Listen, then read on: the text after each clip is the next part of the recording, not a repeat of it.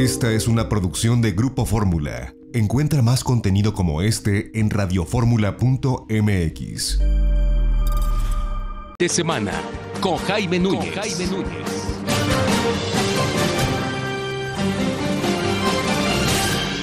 Ya son las 9.44, nos acercamos a la recta final de este programa. Y ser mamá no es fácil, y menos en estos tiempos del coronavirus, pero nuestra compañera Laura Pérez Cisneros nos tiene esta información en los colores del mundo.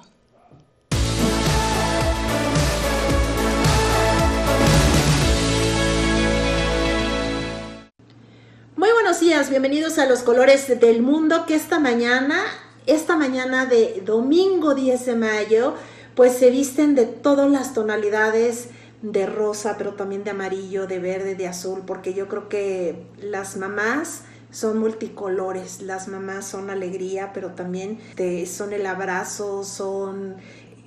Híjole, yo creo que es indescriptible lo que es una mamá.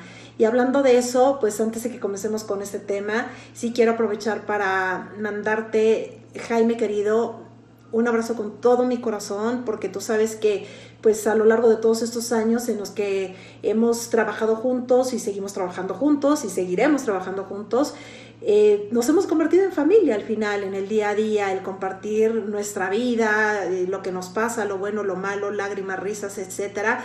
Y pues hoy es momento de mandarte todo mi cariño para ti, para tus hermanos Verónica, para Alfredo. Eh, a la pérdida de tu mami, la hermosa señora doña Antonia Piña. Y pues hoy esta sección va dedicada justamente y con un cariño especial para ella y sobre todo para todas las mamás, Jaime, porque esta mañana lo que decía, ¿de qué color se viste una madre? Pues una mamá se viste de todos los colores, de todas las tonalidades y que me queda claro que cuando te conviertes en madre, también un poquito te toca Dios para para de repente tener esa magia y que solo la entiendes cuando te conviertes en, mamá. Así que este, este domingo creo que va a ser también muy especial para todos los mexicanos que estamos celebrando con más orgullo, con más felicidad a las mamás y que a pesar de que muchos de una forma responsable no están con su mamá físicamente, pero estarán ahora a través de una videollamada, le mandarán a lo mejor si pueden un regalito, este, pero basta que sea con el cariño de, de cuidar más que nunca a nuestras mamás, porque ellas al final son el pilar de nuestras casas. Y pues este, este 10 de mayo del 2020 cobra otro sentido porque estamos pues atravesando una pandemia y ellas son al final quienes siempre están detrás de nosotros, quienes de repente cuando sentimos miedo, ahí está mamá.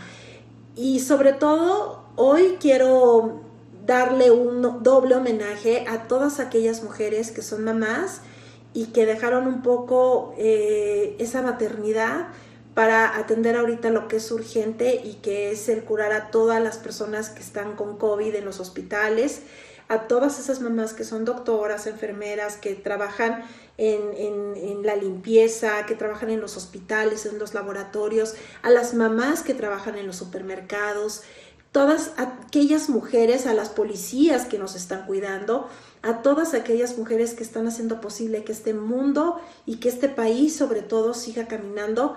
Hoy un abrazo doble, un abrazo doble también, por supuesto, a las mamás de, Grupo Fórmula, pero sí, yo creo que al final las madres también están teniendo un papel fundamental en el paso de esta pandemia, porque pues ellas, muchas, están teniendo que trabajar en casa, pero también están atendiendo a sus hijos y a su esposo y están pendientes de la escuela y tienen el momento para jugar y los trastes. Bueno, los trastes que yo no sé de por qué razón se multiplican y uno no sale de la cocina. Pero la verdad, ya para acabar, un abrazo con todo mi cariño en este 10 de mayo.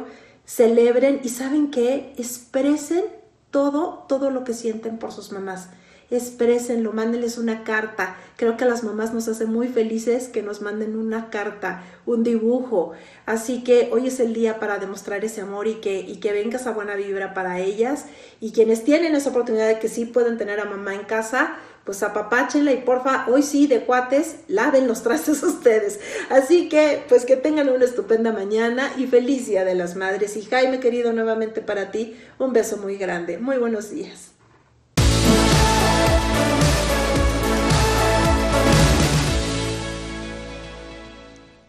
Muchas gracias, querida Lau. También te mandamos un gran abrazo y una felicitación. Y ahora vámonos a